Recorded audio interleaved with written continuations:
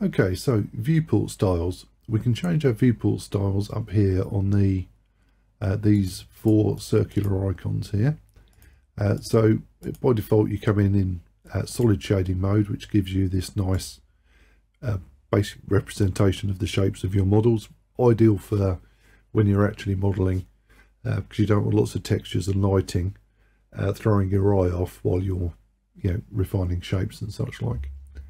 There's also a wireframe mode. We have the material shaded mode, really good for, you know, making sure your textures all marry together. And then we have the viewport mode. So, uh, or the rendered mode rather.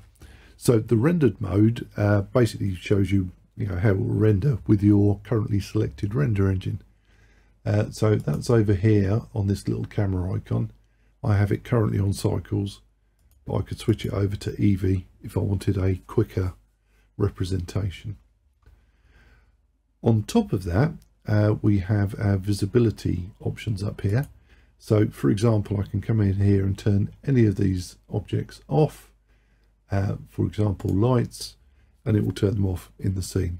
Obviously, in the rendered scene, I don't want to turn my lights off because I want to be able to see them.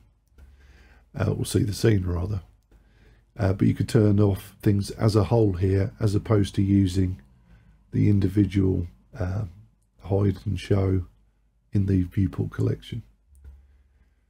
Uh, here we have our gizmo options. So if I want the gizmos to be visible, uh, I can simply turn them on. Uh, so the move one, for example, will allow me to just grab an object to move it around. Now I can grab lots of objects and move them around and it's really quick. Just doesn't take any time at all as opposed to you know having to use G and then restraining it to um, various axes. Okay so let's turn that back off. Again that moves for uh, rotate and scale as well. Uh, then we have the viewport overlays which is very handy. The viewport overlays basically give you information on top of your models so if I turn that off you'll notice that all the wireframe goes away my little camera disappears there and the light up there disappears.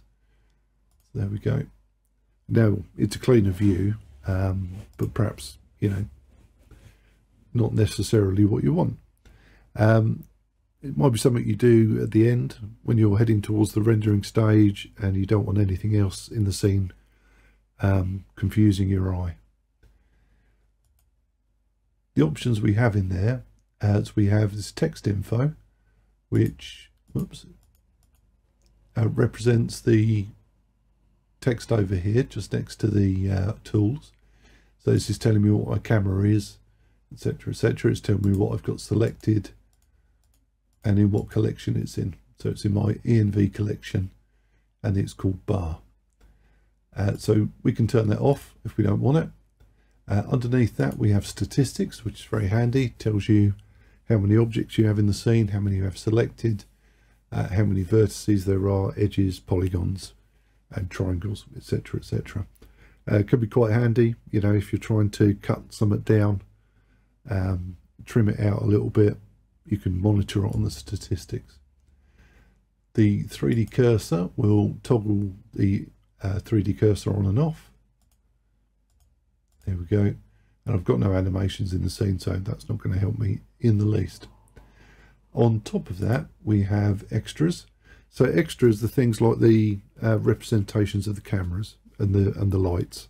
You'll see we've got a little camera down here to show me where it is. If I turn extras off, that disappears, as does my light up here.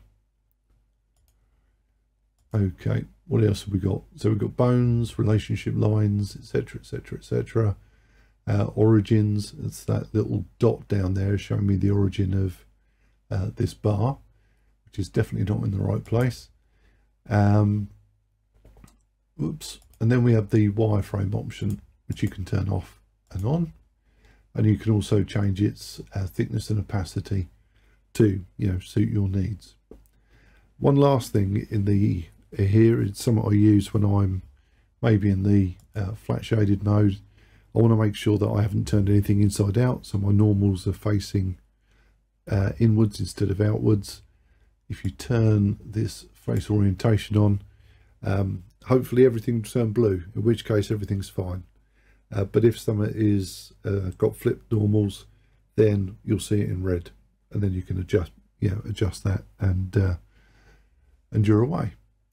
Okay, so that's pretty much the viewport uh, options. I'm just going to turn that off.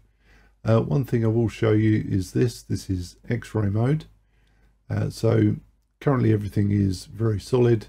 If we go into X-ray mode, you'll see everything ghosts a little bit. And that allows you to select things through things.